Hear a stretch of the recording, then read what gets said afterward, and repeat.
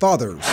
And Harrison cannot retain. Yes, he can retain control for the touchdown. And sons. They're not going to win one-on-ones against Marvin Harrison.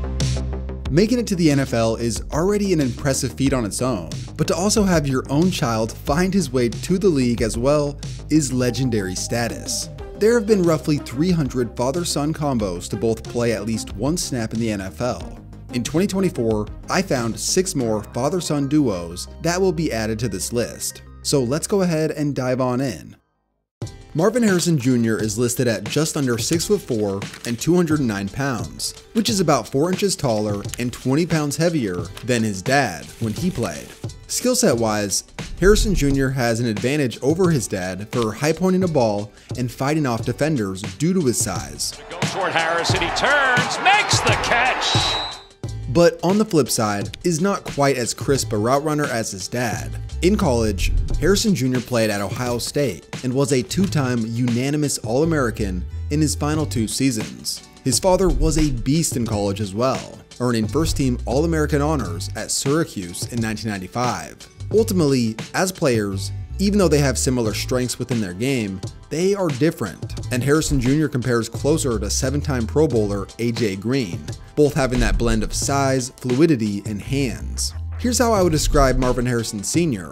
Along with the crisp route running and excelling at the catch point, the biggest advantage that Harrison Sr. had was his impeccable body control. He was great at avoiding big hits, thus prolonging his career and allowing him the success he had. He currently sits fifth all time in career receiving touchdowns.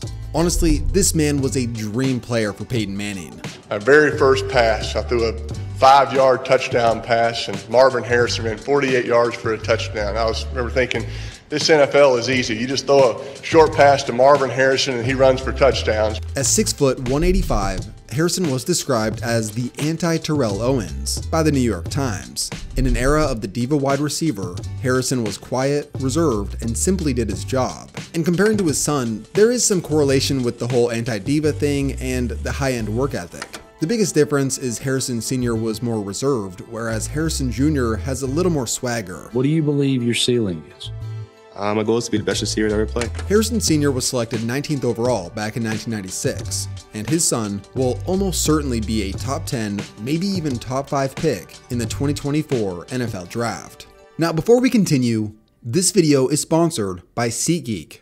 With over 28 million downloads, SeatGeek is the number one rated ticketing app. And even though football season is over, there are more than 70,000 events every single day available on SeatGeek which includes concerts, other sports, festivals, and more. To pass the time to next football season, why not go out and do something fun? I plan on getting out and going to a few concerts throughout the summer. Plus, it's so easy using the SeatGeek app. They put all the tickets across the web in one place to make sure that you are getting a good deal. Every ticket is rated on a scale from 1 to 10, so look for the green dots. Green means good and red means bad. Every ticket is backed by their buyer guarantee, and SeatGeek is the only site that lets you return your tickets ahead of the event with swaps. And I got you guys. Use my code KTO for $20 off tickets at SeatGeek. That's $20 off your first purchase with promo code KTO. Make sure to click the link in the description to download the app. Moving on to our second father-son combo, we have Frank Gore Sr. and Frank Gore Jr. Frank Jr. is listed by NFL.com at 5'8 and 201 pounds. His dad is slightly taller at 5'9 and was bigger when he played by around 10 to 15 more pounds. Frank Jr. is not overly explosive, and he is definitely smaller than his dad, but he does display some of the same balance, coordination, shiftiness, and break tackle ability that made his dad so dependable. He plays with that power back mentality. First look at Frank Gore Jr. lowering the shoulder but Frank Gore Jr. won't be able to shoulder the full load in the NFL like his dad did, just because of his size. In college, Frank Gore Jr. was Southern Miss's workhorse back, earning first team All Sun Belt honors in 2022 and second team in 2023. Frank Sr. played a role as a freshman on the 2001 National Championship Hurricane team, and although he did have success at Miami, it was hampered by tearing both of his ACLs at different points during his college career. Frank Sr. ended up being selected in the third round and was initially thought of as an injury-prone player, but 16 seasons later, this guy became known as a true NFL Ironman, setting the all-time record for most games played by any running back in league history. With his lower center of gravity, Frank Sr. had incredible balance, ability to break tackles, and dependability. He was known as the inconvenient truth, but the inconvenient truth for his son is that he projects to the NFL as an average backup or special teamer, perhaps as a late round pick or undrafted free agent. Next up, we have some behemoths on the offensive line John Alt and his son, Joe. Joe Alt stands at a monstrous 6'9 and 321 pounds, just slightly outdoing his father, who is 6'8 and played around 298 pounds. Interestingly enough, John has another son, Mark, who is much smaller in comparison, at only 6'4 and 200 pounds. He was a hockey player and was drafted into the NHL back in 2010. John Alt back in the day was a tight end at Iowa, but later put on 40 pounds and transitioned to offensive tackle. Nicknamed the Monumental Minnesotan, John was able to maintain his athleticism while building the strength and technique to be a dominant left tackle. This led him to being the second tackle selected in 1984, 21st overall by the Chiefs. Eventually, John developed into a cornerstone left tackle for the Chiefs, and this is how he was described by his Hall of Fame teammate Derrick Thomas. Quote, in eight seasons, I've faced almost every tackle in the National Football League, and I've beaten them all. But in eight years of practice and scrimmage, I can only remember beating John Alt once. I think that is the highest compliment I can pay John. Also, here's a random fun fact. John Alt was the strongest lineman on Tecmo Super Bowl, so that's pretty cool.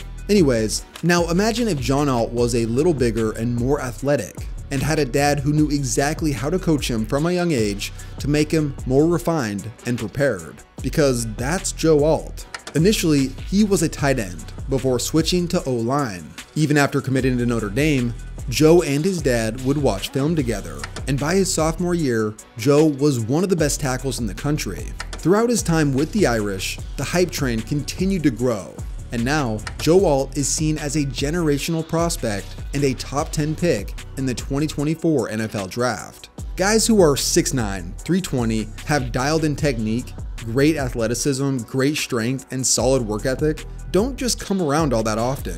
Joe Alt sounds like his dad, but with the proper guidance from an even younger age to become a beast. And it showed. In a league desperate for better tackle play, somebody will be clamoring to get this guy. Now, let's move to the other side of the line. Chris Jenkins Jr. comes in at just under 6'3 and one biscuit shy of 300 pounds, which is still noticeably smaller than his father, Chris Sr., who stands at a massive 6'5 and played somewhere in the ballpark of 320 to possibly even 360 pounds. Also, Chris Sr.'s brother Cullen Jenkins also played in the NFL. He played around 6'2 and 305 pounds. Skill set wise, there is some similarities between father and son, considering they did the dirty work on the inside of the line and stuffed the run. Chris Jr., who goes just by Chris Jenkins, but I'll keep referring to him as Jr. just to keep things simple, has been described as an athletic, smart, versatile, and tough interior defender. At Michigan, he did the dirty work inside, and did it well, anchoring that dominant defense on their way to a national championship. This last year, he earned second team All American honors, compared to his dad, who played at Maryland and earned second team All ACC honors as a senior. Chris Jr. actually compares closer to his uncle Cullen, who was around the same size and had success as a starting level player in the league for 13 years. Here's how his dad was described as a player. According to the Washington Post, then Eagles coach Andy Reid said, quote, You're talking about a big, explosive, strong guy, so he'll be a handful. Chris Sr. was a second round pick to the Panthers back in 2001 and had a highly productive career, playing 10 seasons with 4 Pro Bowls and 2 first team All Pros to his name. He was also cut from that old school cloth, mean, outspoken, and just about the last guy you'd want to mess with. Get your ass out! Get what? What? That's my shit!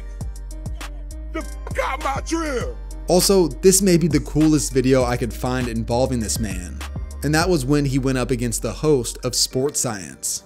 Now, comparing his son Chris Jr., I don't think he's as vicious as his dad was. At what age did you realize that if you had to, you could take dad? That has not happened yet. Overall, Chris Jenkins Jr. projects well going into the draft. He's seen as a top 5 or 6 defensive tackle in the class and should be selected somewhere in the second to third round range.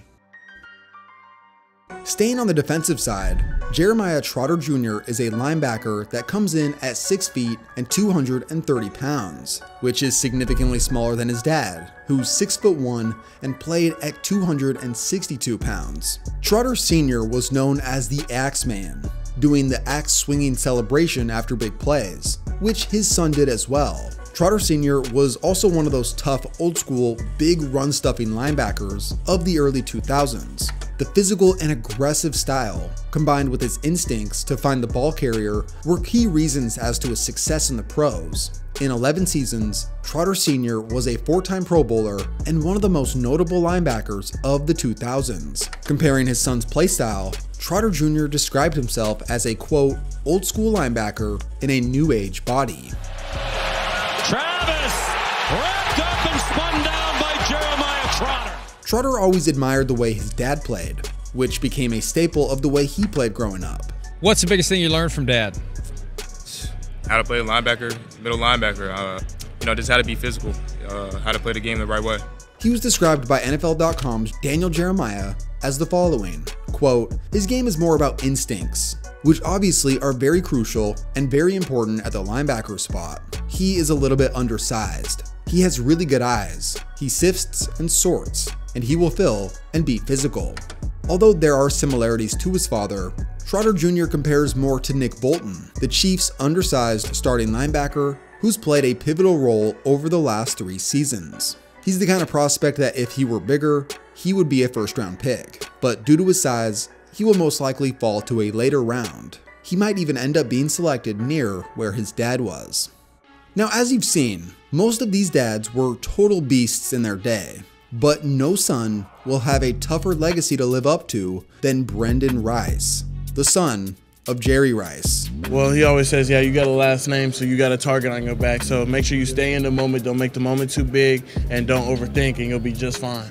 At 6'2 and around 210, Brendan is just slightly bulkier than his dad, who played at just around 200 pounds. At the NFL Combine, Brendan put up a 4.5 40, and his dad back in the day ran somewhere in the ballpark of a 4.6 or 4.7, although they didn't train the same way they do today. And everyone agrees that Jerry's game speed was much faster than that. As far as playstyles go, Brendan is a stronger and more powerful player than his dad was, but raw power doesn't determine how good a player is in the NFL. Jerry Rice was known for his exceptional work ethic, discipline, attention to detail, and dedication to his craft. According to a Redditor, he had the best hands of all time, the best route running of all time, and the best run after catch of all time. Pretty much every attribute you could have as a receiver, he was a 10 out of 10. He was so dedicated that the day after winning the Super Bowl, Rice was seen all alone running routes on the practice field.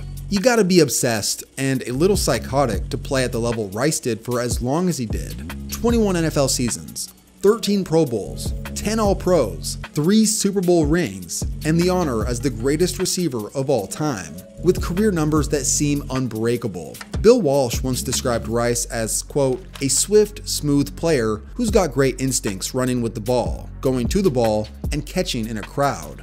His son Brendan's scouting report looks a bit different. Same effort, and this time it's Brendan Rice for the hmm. touchdown. This is according to Lance Zierlein over on NFL.com. Brendan Rice is big and physical, lacks sudden feet, and might have a hard time separating on short routes, is a deep ball threat with quick, strong hands, and his comp isn't his dad, rather Nick Westbrook Ikhine, who's been a third to fourth option type player in Tennessee. While his dad was a first rounder back in his day, Brendan is seen roughly as the 18th best receiver of the class, projecting as a backup who could work his way into some reps over time. And I'm sure, even as an NFL player, his dad will be there to push him to be his best. That's that, that's strong hands right no, there. No, no, that's that's an incredible. Yeah, yeah but he grab. got to drag that that, That back, back foot. foot. Yeah. is trailing him, And they're going to go his way. And oh, he's got it. The record. He did it. And it was Lewis with the coverage, but Jerry Rice is just unstoppable.